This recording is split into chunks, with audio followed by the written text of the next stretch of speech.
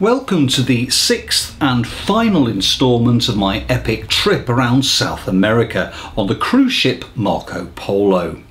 Well, in the previous episode, we concluded our run up the length of the western coast of the continent. At this point, we were ready to wave our fond farewells to the Pacific Ocean and make our way back to the eastern side and the Caribbean.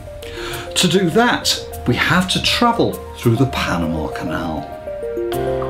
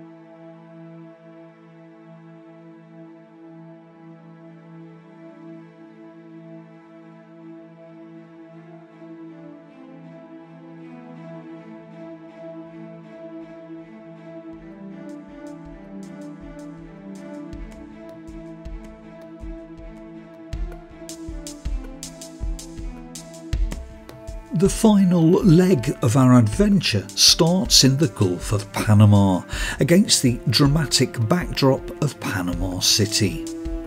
Well, as you can imagine, there was a palpable buzz of excitement as we approached the canal. Transit from the Pacific to the Caribbean would take us roughly eight hours in total, passing through no fewer than three locks.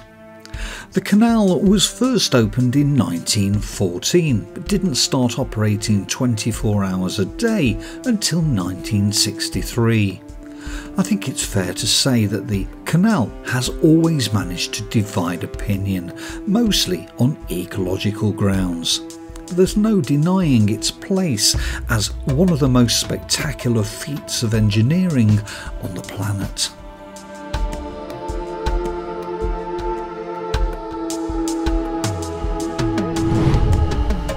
That's a mule, one of four tiny trains that run alongside the lock, two on either side, one on each corner. They're connected to the ship with ropes and the job is to help to keep the ship central. A transit time of roughly 8 hours means there are lots of opportunities for the artists on board to brush up on their urban sketching skills. This is the Miraflores lock, the first on our passage.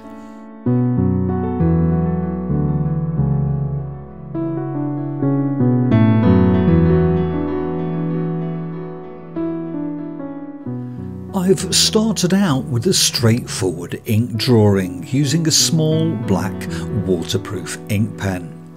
There's a lot going on in the scene, but that's fine. My starting point was the ship's mast. From there, I gravitated outwards.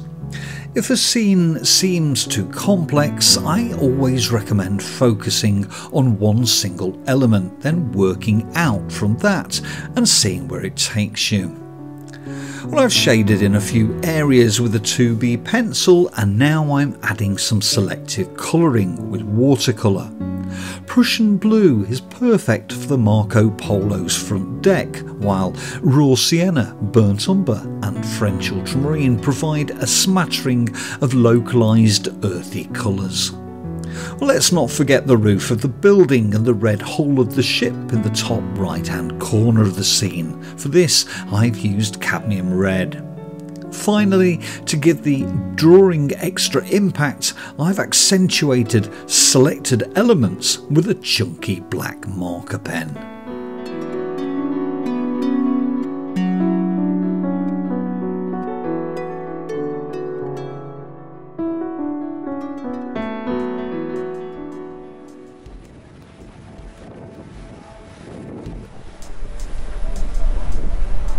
Sure there were some passengers who were unmoved by the experience. Well, it's possible that Panama Canal veterans become a little blasé about the process, but even those who see it as a necessary evil must surely be hard pressed not to be at least secretly wowed by the sheer scale of the operation. Not to mention the huge cargo ships that passed close by from time to time. Personally, I found it fascinating and rather fun. This is Gatun Lock, our final lock of the day.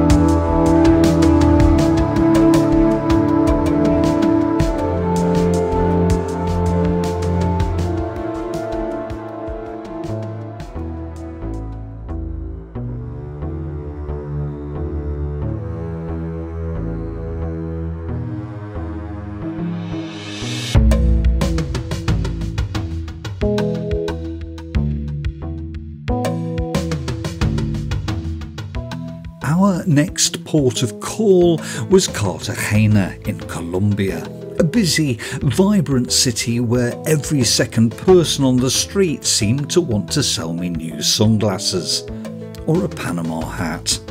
Well, I was escorting a tour that took us to a fort before plunging us right into the very heart of the old town. A disappointing visit to a museum of the Spanish Inquisition was followed by a more promising visit to the cathedral and the busy square. The 16th century old town is surrounded by high walls and is simply bursting with colourful colonial buildings and cobbled streets where horse drawn carriages queue up to give visitors a tour to remember.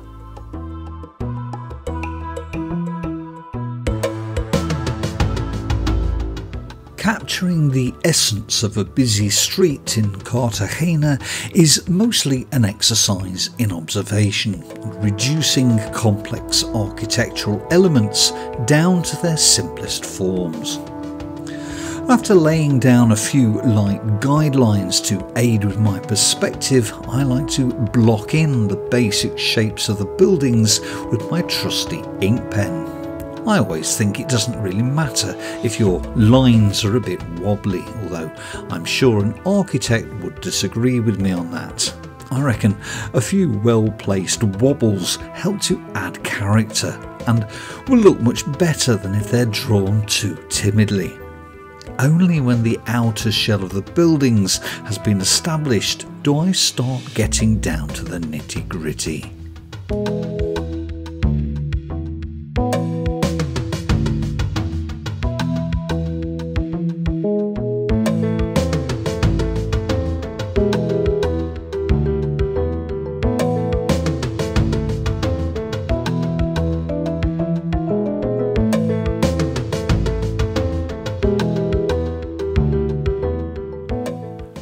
Once I'm happy with my line drawing, it's time to start throwing some paint at it. Prussian blue establishes the sky, while a mixture of raw sienna, burnt umber and French ultramarine are good for capturing the colourful facades of the buildings. And as you can see, I'm encouraging the different colours to bleed together, creating subtle graduations of tone and allowing some space for interpretation, keeping it loose and slightly ambiguous. Once I've established those underlying colours, it's back to the ink pen. Well, mostly this means blocking in the windows with the black ink and selectively adding some shading patterns here and there. I'm also adding bevels to some of the window frames and the corners of the buildings and looking for tiny ledges or other architectural enhancements. Finally, I'm going to drop a smattering of bright colours into the figures and as with the earlier wash I'm encouraging colours to bleed randomly into each other. The foreground shadow is there to hold it all together.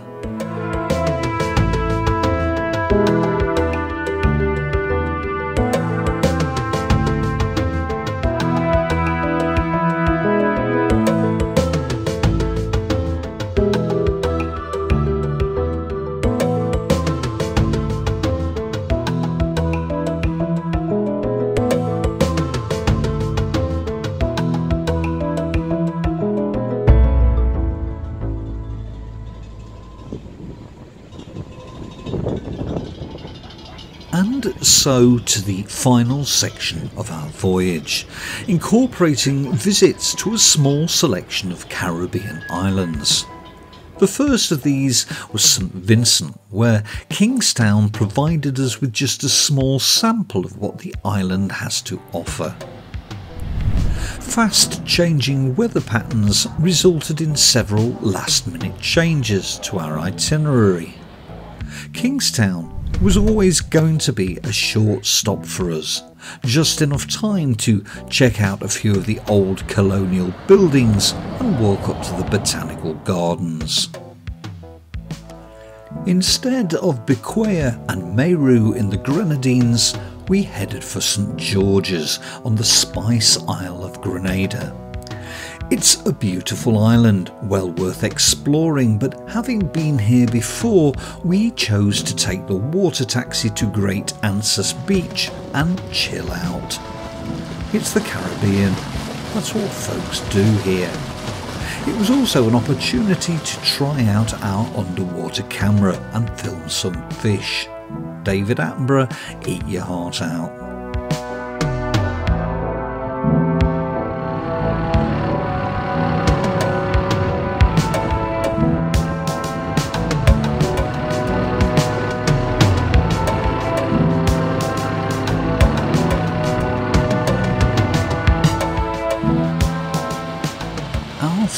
Stop before heading east across the Atlantic was Bridgetown on the island of Barbados. On our way into town, we stopped off to take a look at the fish market, which was open and in full swing. We also paused to check out the collection of boats in the harbour and look at Nelson's column in their very own Trafalgar Square. Once again, though, our plan for the day was very simple find a beach, swim, relax, repeat. With the Caribbean fading away into the distance and the memories of our trip so far still fresh in our minds, six long days at sea brought us to our final port stop, Ponta Delgada in the Azores.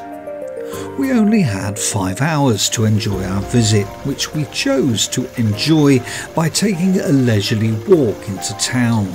A climb to the top of the clock tower gave us some good views across the rooftops and into the harbour.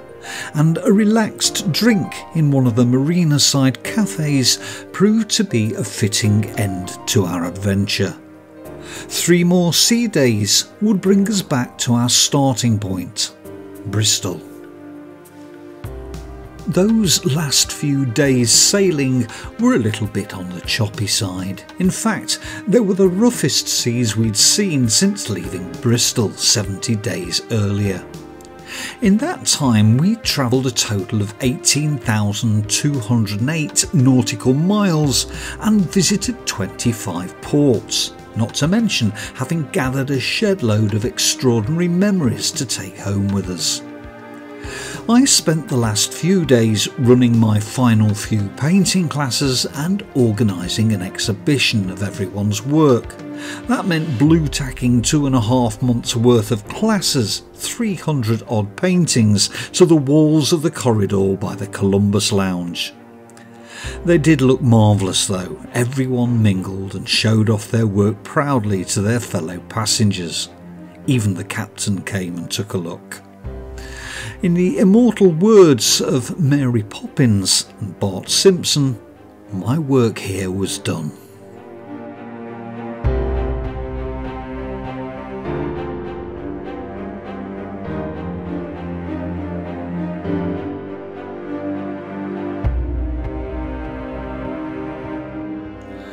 All of which concludes this epic voyage around South America. Well, there is just one more thing though before I go. I couldn't leave without adding my own small tribute to the ship that took us there and brought us safely back home the Marco Polo.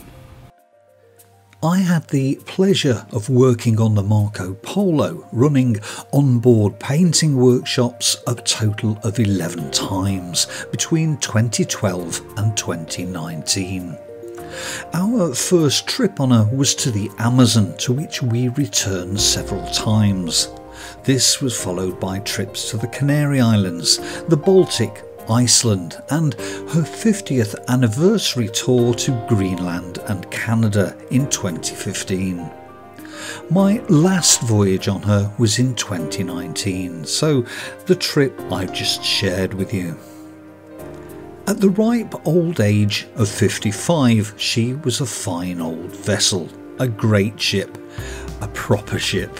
She was originally known as the Alexander Pushkin, and I'm sure all who sailed in her would sing her praises as I have done, not to mention all the fantastic memories and wealth of seafaring stories. Well, I speak of her in the past tense because in 2020, Cruise and Maritime, who owned and ran her, fell victim to the global pandemic that brought a sudden halt to all cruise operations right across the industry.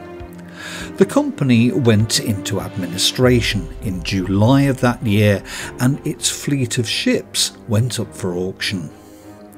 Despite all hopes for a last minute reprieve and a possible new life as a floating hotel, none of that was to be.